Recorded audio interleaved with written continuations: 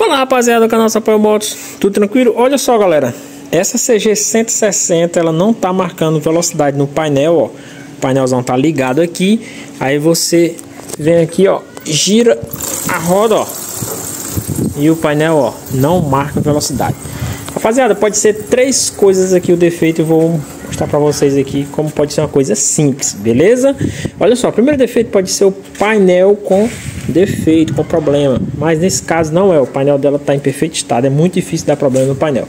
O outro defeito, galera, pode estar tá aqui, ó, no sensor de rotação, essa peçazinha que fica aqui, ó, parafusada aqui, ó. O que acontece? Essas motos aqui, ela não tem aquele sistema de marcador de velocidade aqui no cubo dianteiro, né, que tem aquele espelho de freio, as engrenagens de velocímetro. Essas motos injetadas, se eu não estiver enganado, acima da 2014 em diante, todas elas que tem esse painel digital, essas motos tem esse sensorzinho aqui e quando esse sensor dá problema, ele não faz a leitura da rotação do eixo do pinhão, que é o seguinte, quando a roda vai girando, o eixo do pinhão vai girando, ele vai gerando impulso para o sensor e o sensor vai, de acordo com a velocidade do eixo, vai aumentando a velocidade da moto e assim vai.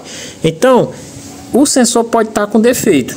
Isso não é um, um caso a, a ser descartado, mas é muito difícil também, galera, esse sensor dar problema o que dá mais problema nessas motos, galera. Eu vou aqui, ó, já mostrar para vocês que eu já descobri, galera, já descobri e o macete para vocês descobrir juntos aí quando você estiver fazendo esse pegar um defeito desse aqui, galera, que às vezes é uma coisa simples. Beleza?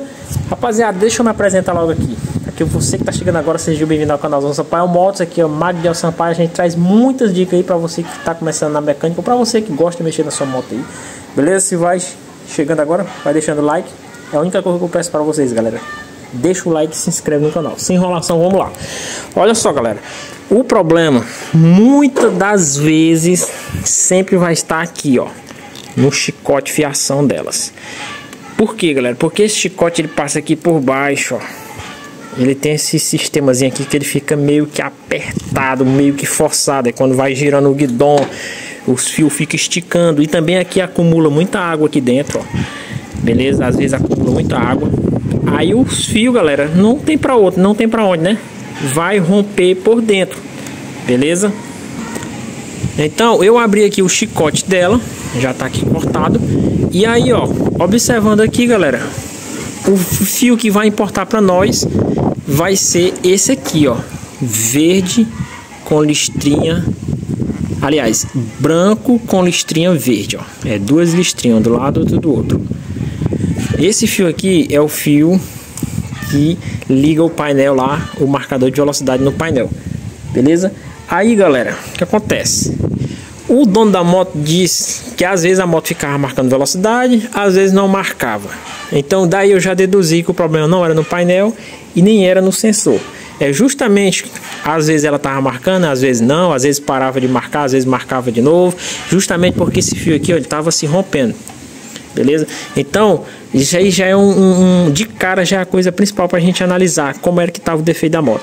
Então aqui, ó, eu desencapei aqui os fios, desencapei aliás esse chicote aqui, e aí quando eu estiquei o fio ele tá, separou, separou facinho, facinho. Tá aqui até os dois, pedacinho do que eu tirei dele aqui, galera, ó. Tirei agora há pouco, ó. Beleza? Agora aqui, rapaziada, é o seguinte. O lance é muito fácil. Eu venho aqui, ó. Eu vou só dar uma ligada neles aqui, ó. Encostar um no outro aqui. Pronto, ó. O painel tá do mesmo jeito, com a chave ligada. Beleza? Agora eu venho aqui, ó. Vou girar a roda. Daquele mesmo jeito, ó. Eu venho aqui no painel, ó. Tá vendo aí? Vou parar a roda. Vou girar mais uma vez, ó. Vou deixar lá a chave, a câmera mostrando o painel. Ó. Então, como vocês podem ver, o problema tá apenas aqui nesse fio aqui. Rapaziada, espero que vocês tenham gostado do vídeo bem rapidão, bem prático. Aqui eu vou só isolar eles aqui, deixar bem bonitinho, beleza? Mas o intuito do vídeo aqui era mostrar o defeito para a galera resolver E é isso aí, rapaziada. É uma coisa que acontece muito na 660 por causa do sistema da posição do chicote. Beleza? Espero que vocês tenham gostado do vídeo. Chegou até aqui novo no canal. Se inscreve, fortalece com like. Até uma próxima. Forte abraço. Fui, rapaziada. Tamo junto. Valeu.